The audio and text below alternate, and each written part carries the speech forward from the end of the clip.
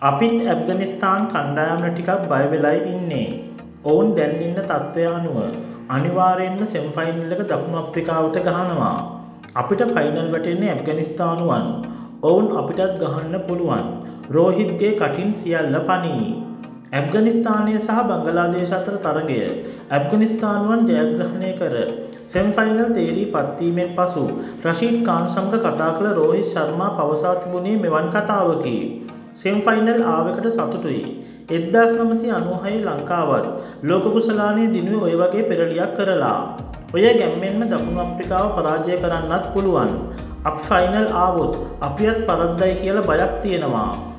මොනව වුණත් සෙම්ෆයිනල් ආපයකට සහ ෆයිනල් එන්න ලැබෙන්න කියලමම් විශ් කරනවා යනුවත් රෝහි ශර්මා රශීත්කාන්ට පවසා තිබුණු බවයි ඇබ්ගනිස්ථාන සමාජමාධ්‍ය පවසා තිබුණේ. ඉතින් ඇබ්ගනිස්ථානුවන් මේ යන ගැම්මෙන්න්න දකුණු අප්‍රිකානුවන් පරද්දලා ෆයිනල් ලැවිත් T20 ලෝකකුසලානය දිනාගනීම කියලා හිතන අය සහ ඇබ්ගනිස්ථානුවන් ලෝකකුසලානය දිනනවට කැමති අය අනි වාරෙන්න්න කමෙන්ට් එකක්දා ගෙන යන්න.